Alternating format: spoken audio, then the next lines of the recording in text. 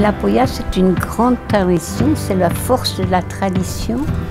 Et j'aime beaucoup ça parce que c'est quand même mon origine.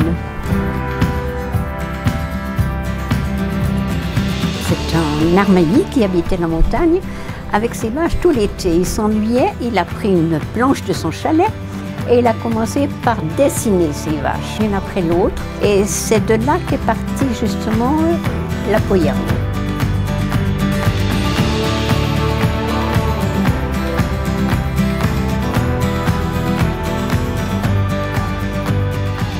C'est le plus important pour moi. J'aimerais que cette tradition qui est forte, qui perdure dans le temps, qui perdure encore bien après moi, et mes petites filles, elles feront ça, je crois.